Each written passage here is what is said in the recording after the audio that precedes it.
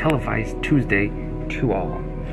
Why televised? Well, we finished the commercial we were shooting Sunday and it came out Monday. So yesterday, or the day before. I don't know, vlogging's weird. I'm still not used to doing this in public, people are staring at me. So, anyways, you should go check it out. Just look at look at it, look at it. I'm looking at it. That box in the corner. I'm just being weird. Go see it. Alright, so at my place of employment, we only use three of the seven floors we have. So likewise, we have all these rooms, all these floors, can't really see, that are just kind of empty. And I'm wondering if I should explore around it and see what I could get. Some of them actually have lights on. And with those lights on, I can kind of see. Maybe bring a flashlight.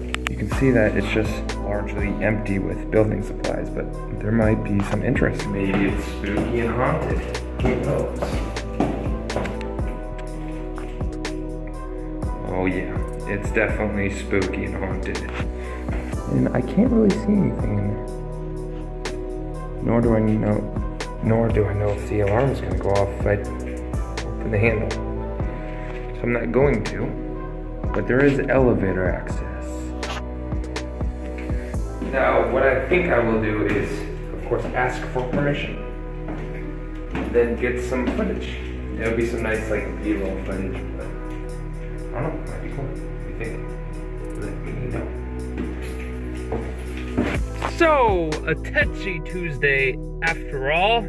I said touchy, not touchy. Don't make it weird. So basically, I work an IT job and we take calls. And in the span of 45 minutes, we received 30 plus calls. It was insane. But I'm not gonna let that ruin my day. Because for right now, I'm just gonna go home. And I'm gonna go home right about now.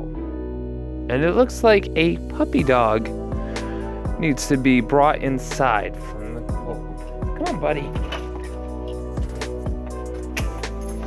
You're lucky I teleported home. You could have been freezing all day. Good boy, as you are. All right, I have to go shovel all of this. But that's okay because it's already done. See, not so hard. Oh crap, where's my car? Hold on.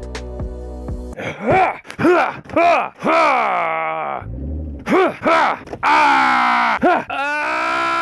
Ah!